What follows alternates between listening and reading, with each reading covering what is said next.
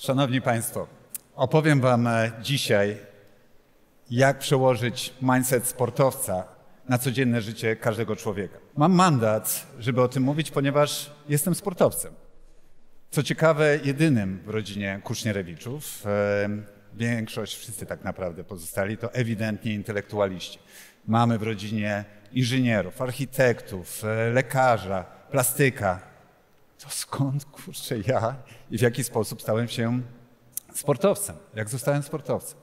Otóż mój tata e, jest matematykiem. Bardzo dobrze potrafi liczyć. I kiedyś wziął do ręki moje wyniki w nauce, popatrzył na nie, przeanalizował i powiedział mi, wiesz co, synku, to już może lepiej zostań żeglarzem. Tam jest przynajmniej nadzieja. No tak. E, dodał po chwili, że żeglarstwo to bardzo drogi sport i powiedział mi, nie będziesz miał pieniędzy ani na alkohol, ani na dragi. Dlatego tutaj moja pierwsza rada dla Was. Jeżeli bardzo kochacie swoje dzieci, to zapiszcie je na żagle. Super sprawa. Słuchajcie, ja dzisiaj patrzę na sport, e, na świat tak naprawdę z perspektywy sportowca, e, którego kariera sportowa zaczęła się 40 lat temu. W tym czasie spiąłem się na sam szczyt. Byłem na, na szczycie samego świata. E, ale wiele razy też z niego spadłem i to tak z łomotem, aż bolało. Ale po takich niepowodzeniach, po takich przegranych, można je nazwać nawet porażkami, potrafiłem się zebrać, wstać z kolan, odbudować, znaleźć motywację, by znów walczyć i zdobyć fantastyczne sukcesy. I bazując na moich dotychczasowych doświadczeniach, z życia wziętych i metodach, powiem Wam dzisiaj, jak przebić się na szczyt, jak się z tego szczytu można zwalić, przepraszam za określenie, ale e, spaść, oraz jak znaleźć sobie motywację do tego, żeby się podnieść z kolan i znów walczyć o wspaniałe cele i sukcesy. Zacznijmy od początku. Jak się przebić na ten szczyt? E, zacznę od Igrzysk w Atlancie. Tam zdobyłem złoty medal olimpijski. Fantastyczny sukces. Jest ze mną do dzisiaj. Ale dzisiaj z perspektywy czasu twierdzę, że to było drugie najlepsze doświadczenie, druga najlepsza rzecz, jaką osiągnąłem, jakiej doświadczyłem w swojej karierze sportowej. Brzmi trochę zagadkowo, co? Umysł sportowca. Ale po kolei. Moja sytuacja przed Atlantą nie była zbyt ciekawa. Nie miałem takich możliwości, a przede wszystkim zasobów jak moi konkurenci. Nie miałem dostępu do najlepszego sprzętu, do kasy, do tradycji, bo nikt w Polsce wcześniej przede mną nie zdobył medalu olimpijskiego. Ale jednocześnie, bazując na moich dotychczasowych wynikach, postawiłem sobie ambitny cel, żeby na tych pierwszych igrzyskach, właśnie w Atlancie, być w pierwszej ósemce. Chciałem wrócić z tych igrzysk z dyplomem, bo do ósmego miejsca dają na igrzyskach dyplomy. Super cel, co? Marzenie. I problem w tym wtedy polegał u mnie na tym, że nie miałem dostępu do wiedzy. Nie wiedziałem, jak żeglować na poziomie światowej czołówki, żeby wbić się do pierwszej ósemki. I dlatego przed Atlantą, a były to lata 1994 i 95, postanowiłem i tak naprawdę taką strategię sobie ułożyłem, że na zawodach będę się trzymał blisko najlepszych. Wiecie, blisko elity. Znaczy, przede wszystkim na, na lądzie, no bo przecież nie na wodzie. I robiłem wszystko, żeby być gdzieś w ich okolicy. Jak tylko była okazja, pomagałem im zwinać żagiel. Jeżeli tylko potrzebowali kombinerek, to ja już byłem gotowy z kombinerkami, ze śrubokrętem. Nawet odnosiłem talerze, przy okazji patrząc, co wcześniej jedli. To wszystko sprawiło, że e, zbierałem bardzo ciekawe informacje, ale przede wszystkim relacje i czekałem na dobrą okazję, na taką szansę. I ta szansa się pojawiła. Otóż pod koniec 95 roku, czyli na kilka miesięcy, no można powiedzieć na rok przed Atlantą, powstała mocna grupa stworzona ze Szweda, Kanadyjczyka i Nowozelandczyka. I ja, kiedy tylko usłyszałem, że oni razem będą się przygotowywać do igrzysk e, w Atlancie, to podszedłem do nich i zapytałem, słuchajcie, czy ja mogę do was dołączyć? Ja wcześniej nie stworzyłem żadnego dla nich e, nawet impulsu i zagrożenia, że jestem e, dla nich jakimkolwiek konkurencją. i przyjęli mnie. Postanowili, że mogłem do nich dołączyć. E, I powiem że, wam, że już po pierwszych treningach, już po pierwszych e, zgrupowaniach, które mieliśmy razem, ja wszedłem na zupełnie nowy poziom. Postanowiłem, że mm, poświęcić tak naprawdę wszystkie kolejne zawody do igrzysk na to, by podpatrywać innych jeszcze rywali. Trenować ze Szwedem, Kanadyjczykiem i Nowozelandczykiem, ale nadal miałem cel, żeby się uczyć. I podpatrywałem takich technik u chociażby Hiszpana, który żeglował świetnie przy słabym wietrze, Irlandczyka przy średnim i Francuza przy, przy silnym, bo wiedziałem i odrobiłem swoje lekcje, że w Atlancie będą pewno zmienne warunki. To sprawiło, że miałem strategię, którą realizowałem, która dawała mi szansę, żeby wejść do pierwszej ósemki. I ta strategia wypaliła lepiej niż się tego spodziewałem. Wróciłem z Atlanty i z dyplomem, i z medalem. I to z pierwszym w historii polskiego żeglarstwa złotym medalem olimpijskim. Dziękuję. Ale co ciekawe w tym wszystkim, to jest to, że ja oprócz tego złota zrozumiałem, jakie inne trzy czynniki miały niesamowity wpływ na ten fantastyczny sukces. I teraz podzielę się z Wami tymi moimi wnioskami. Jak się przebić na szczyt? Moi drodzy, po pierwsze, uważam, że trzeba szukać swojej szansy i prowokować szczęście. Po drugie, określić, co możemy poświęcić na rzecz ważniejszego celu. A po trzecie, opracować strategię, która da nam szansę, kiedy nie jesteśmy faworytem. Skoro drugą najlepszą rzeczą w mojej karierze sportowej, tak jak Wam powiedziałem, była, było olimpijskie złoto, co, co jest najlepszym doświadczeniem? Co jest najlepszą tą rzeczą w mojej karierze sportowej? Otóż było to zdarzenie, które miało miejsce 4 lata później. Na Igrzyskach w Sydney. Jechałem tam jako główny faworyt do zwycięstwa aktualny mistrz olimpijski, mistrz świata, mistrz Europy. Pamiętam te nagłówki gazet. Rzeczpospolita Wyborcza pisali Korzeniowski, Kusznierewicz, Jędrzejczak, bo tylko wtedy świetnie pływała. To nasi główni faworyci do złotych medali olimpijskich. Wróciłem z Sydney, moi drodzy, ze skórzanym medalem. Czy wiecie, co to znaczy w sporcie zdobyć skórzany medal? Czwarte miejsce. Nikomu nie życzę być czwarty na Igrzyskach Olimpijskich fatalne uczucie. Ja to strasznie przeżyłem. To była gorycz porażki. Rozpoznajecie zapewne ten piękny obiekt, który usytuowany jest na brzegach miejscowości Sydney w Australii. Tam ścigaliśmy się i tu właśnie po prawej stronie od opery w Sydney, na tych schodach, przy tych schodach było ustawione podium olimpijskie, gdzie Szwed, Anglik i Włoch odbierali medale, a ja siedziałem z innymi sportowcami i kibicami tam i płakałem. To było naprawdę coś bardzo trudnego dla mnie do zaakceptowania po czterech latach ciężkiej pracy, e, przygotowań, ile wyrzeczeń, ile kasy na to przyszło, poszło i to nie tylko moich, ale całego zespołu.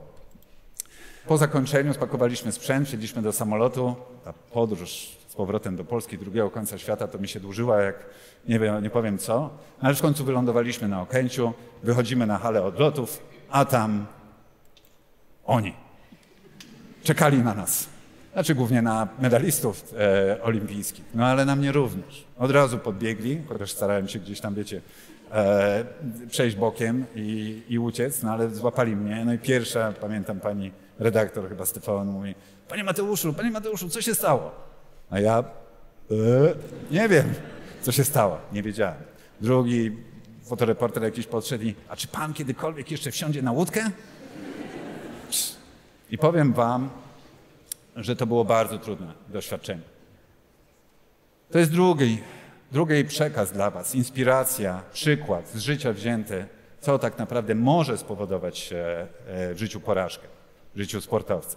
Otóż ja największy błąd, jaki popełniłem, który później zaważył na tym, czy zdobyłem medal, czy nie zdobyłem w Sydney, e, nie popełniłem go w samej Australii. Ja go popełniłem wcześniej. Gdzie? na Majorce. Mam zdjęcie z 2000 roku, był to maj, Mistrzostwa Świata, które wygrałem. Pamiętacie? Cztery miesiące przed wyjazdem na Igrzyska do Australii. Powiem więcej.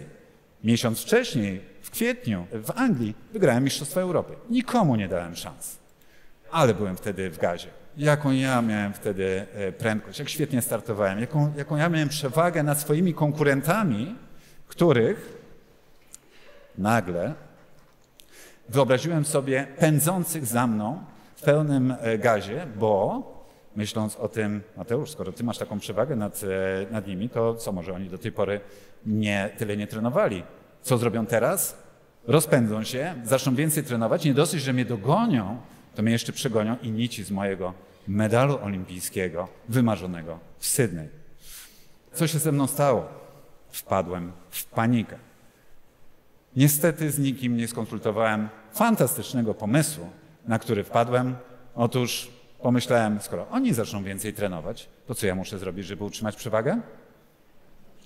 Też więcej trenować, oczywiście, że tak.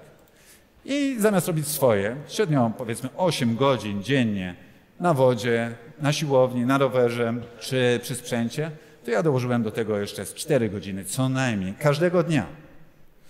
Ale fantastyczny plan, co? Podsumujmy. Opracowuję plan, którego nikt wcześniej nie wymyślił. Dodaję e, gaz. E, jadę na, na całego. Tak naprawdę, co mogło pójść nie tak?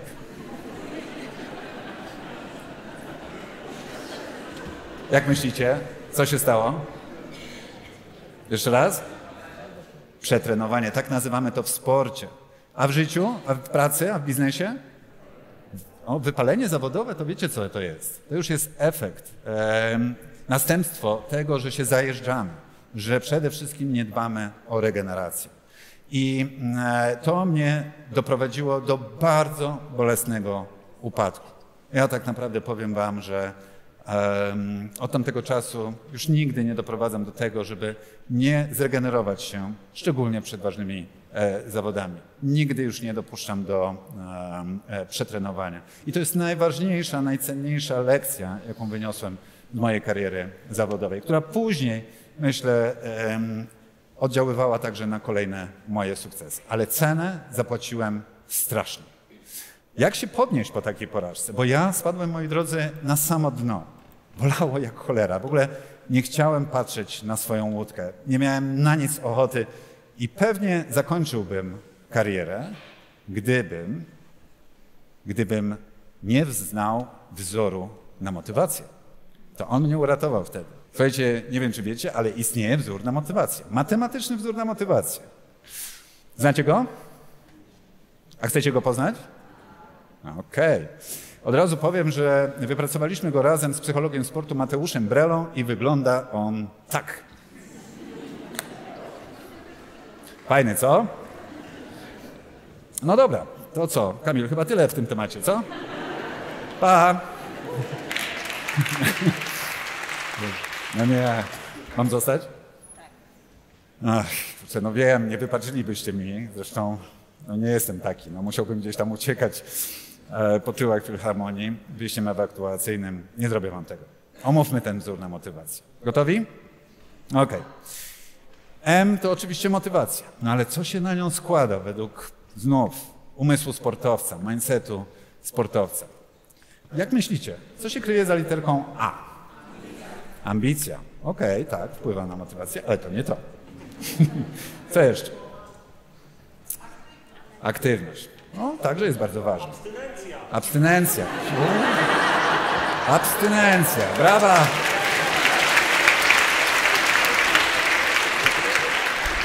O tej porze akceptujemy już takie pomysły. Ale wiecie co, może już was zatrzymam na chwilę, bo popłyniemy zaraz w złym kierunku. Moi drodzy, we wzorze na motywację A to jest atrakcyjność. Atrakcyjność tego, czym się zajmujemy. Zwróćcie uwagę na to, popatrzcie na siebie. Ja patrzę ze swojej perspektywy. Jeżeli to, co czym się zajmujemy na co dzień, nas interesuje, nas kręci, nas podnieca, e, lubimy o tym rozmawiać, e, lubimy o tym czytać, ale to słuchajcie, to jest już w ogóle bardzo dobry kierunek do tego, żeby niezależnie, w ogóle to jest taka wartość, nie kierunek, co ja gadam, wartość do tego, żeby e, niezależnie czy będzie szło nam dobrze, czy źle, to nadal będziemy chętni, żeby zajmować się takim tematem. Ok? Zgadzacie się ze mną? Atrakcyjność. Atrakcyjność tego, czym się zajmujemy. Atrakcyjność, moi drodzy, mnożymy przez P. Jakieś propozycje? Praca. Praca, praca, praca. Poświęcenie, pasja. Okej, okay, no w sumie ciekawe, wpływa na motywację. Akurat w wzorze na motywację e, P e, określiliśmy jako prawdopodobieństwo osiągnięcia naszych celów. I znów popatrzmy na to szerzej. E, wiara w to, że osiągniemy nasz cel, a myślę, że podobnie jak ja macie też ambitne cele w swoim życiu, to zwróćcie uwagę, że w momencie, kiedy się faktycznie wierzymy, że osiągniemy ten cel, mamy motywację do działania. Podam Wam trochę gorzki przykład, jeżeli mogę tak ująć, bo to była gorycz porażki, kiedy ja na wiosnę, w marcu, jechałem na regaty o Puchar Królowej Zofii na Majorce. Po słabo przepracowanej zimie, ale zeszły sezon miałem, poprzedni sezon miałem bardzo dobry, ambitny cel, głupi ja, wygrać te regaty. Ale na te same regaty przyjeżdżali Australijczycy, Brazylijczycy, Nowozelandczycy, którzy u nas zima, a u nich co? Lato. Byli tak rozpływani, że w połowie regat ja byłem na piątej, szóstej pozycji. I co się ze mną działo? Co się działo we mnie? Ja już nie wierzyłem, że jestem w stanie wygrać te regaty, pomimo tak ambitnie postawionego celu. I dlatego tak ważne jest prawdopodobieństwo, wiara przede wszystkim w osiągnięcie celu i prawdopodobieństwo, że ten cel osiągniemy. To jest ważny element naszej motywacji. Mnożyliśmy atrakcyjność jako e, razy prawdopodobieństwo. Do wyniku tego dodajemy Z. Jak myślicie, co to jest Z? Zaangażowanie. Bez dwóch zdań. Bardzo wpływa na motywację. Ale zimno. To nie ten, nie ten kierunek. Jeszcze raz? Zasoby. Brawo. 100 punktów. Przyznajemy. Oczywiście, że tak. W tym wzorze Z to zasoby. Zasoby takie jak zespół, technologię, sprzęt, e, co jeszcze? Budżet, e, marka, którą reprezentujemy, także jest bardzo ważna. Zasobem dla mnie bardzo ciekawym jest także czas, którym dysponuję. I to jest e, także coś, co uwalnia we mnie motywację, a przede wszystkim daje komfort do działania. I ostatni element wzoru na motywację to jest N. N to nagroda. Tutaj byśmy poszli trochę na skróty. E, ale e, także wpływa na motywację. Natomiast e, tu ja nie dostałem nagrody wcześniej, po tym Sydney, dlatego tutaj akurat co innego na mnie zadziałało. Może Was zaskoczę, kiedy pokażę, że N wzorze na motywację to jest ilość wcześniejszych niepowodzeń. Tak, moi drodzy. Oczywiście nie chodzi o to, żeby ich było jak najwięcej, ale zwróćcie uwagę, że jeżeli wcześniejsze niepowodzenia nas wzmacniają, a nie sprawiają, że jesteśmy, jak to się mówi, boimy się kolejnych e, wyzwań, bo się gdzieś sparzyliśmy, to to jest niesamowicie duża siła. I odpowiednie podejście do wcześniejszych niepowodzeń wpływa także na naszą motywację. O tym myślę, że warto też e, pomyśleć. Mam przed Wami, wyświetlam teraz cały wzór na motywację. Poczekam chwilę, bo widzę, że zdjęcia robicie. Śmiało. Słuchajcie, krótko podsumowując, mam trzy dobre wiadomości dla Was. Po pierwsze, ten wzór na motywację sprawdza się nie tylko w sporcie, ale także i w biznesie, w ogóle w życiu. Po drugie, ten wzór na motywację można stosować nie tylko na sobie, ale także i na innych. Sprawdza się szczególnie na e, członkach zespołu. A po trzecie, bardzo dobra wiadomość, ten wzór na motywację jest za darmo. Przekazuję Wam prezencie.